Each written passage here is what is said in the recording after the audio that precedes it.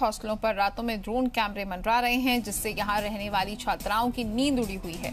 लेकिन यूनिवर्सिटी प्रबंधन मामले को गंभीरता से लेने के बजाय छात्राओं की आवाज़ को ही दबाने में जुटा है। हालाँकि यूनिवर्सिटी प्रबंधन इस ड्रोन कैमरे के मंडराने की बात से साफ़ इनकार कर रहा है, जबकि हॉस्टल में रहने वाली छात्राएँ अपने मोबाइल फ़ोन से इन ड्रोन कैमरों की वीडियो क्लिप तक बनाकर दिखा रही हैं। दरअसल एमजी यूनिवर्सिटी परिसर में लड़कियों के रहने के लिए नौ हॉस्टल बनाए गए हैं, जिनमें हरियाणा ही नहीं, बल्कि दिल्ली, पंजाब, जम्मू कश्मीर और यूपी समेत देश के कई प्रदेशों की करीब ढाई हज़ार छात्राएँ रहती हैं। हॉस्टल में रहने वाली ये छात्राएँ पिछले करीब 20 दिन से दहशत के साय में रह रही हैं।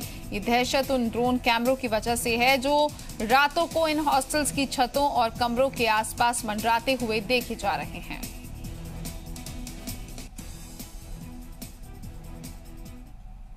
बीस दिन से यहाँ पे गर्ल्स हॉस्टल में एक ड्रोन घूम रहा है। और 20 दिन से ही लगातार लड़कियाँ कंप्लेन भी कर रही हैं। रिटर्न में भी वीसी तक जा चुकी है। रात के 10 बजे से लेकर 12 एक बजे तक। चीफ वार्डन और वार्डन और सीएसओ की प्रेजेंस में भी वहाँ ड्रोन घूमता रहा। लेकिन हमारी शिकायत को नज़रअंदाज करते हुए हमें सिर्फ़ बहकाया गया।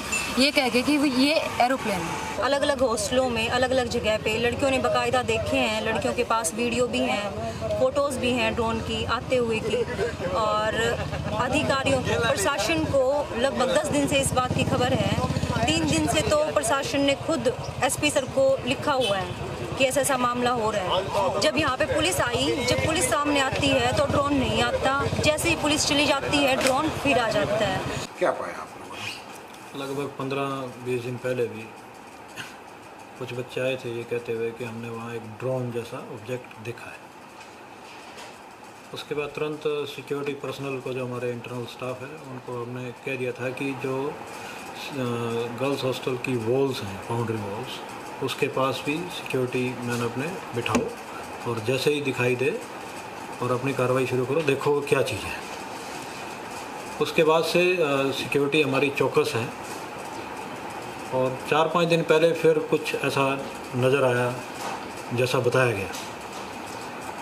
सिक्योरिटी स्टाफ हमारा और पुलिस भी आ गई थी।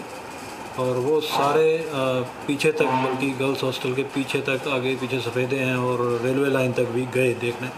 लेकिन उनको ऐसा कुछ नज़र नहीं आया। एक हल्की लाइट लाइट ज़रूर कहीं से वो हो सकता है किसी जगह से आ रही होगी। तो वो नज़र आई थी, बाकी कुछ और नज़र नहीं आया।